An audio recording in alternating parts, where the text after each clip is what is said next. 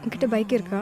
யாரை பார்த்து என்ன கேள்வி கேட்குற ஆர்எக்ஸ்ரா ஒரே ஒரு த்ராட்டில் தான் ஆர் ஒன் ஃபைவ் லெஃப்ட்ல போயிரும் டியூக் ரைட்ல போயிரும்.